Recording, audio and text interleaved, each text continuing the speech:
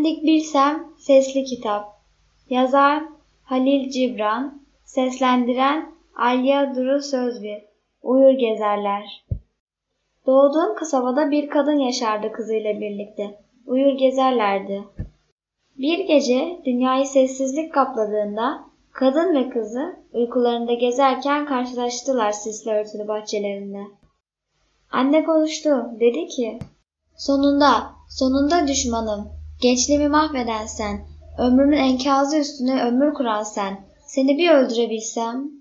Sonra kızı konuştu. Dedi ki, Seni iğrenç kadın, bencil ve kocamış. Özgürlüğümle arama giren sen. Benim hayatımı kendi yitik hayatına döndürmeye çalışan kişi. Ah bir ölsen.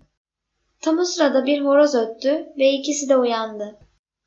Kadın nazikçe dedi ki, sen misin canım? Ve kıza aynı kibarlıkla cevapladı. Evet tatlım.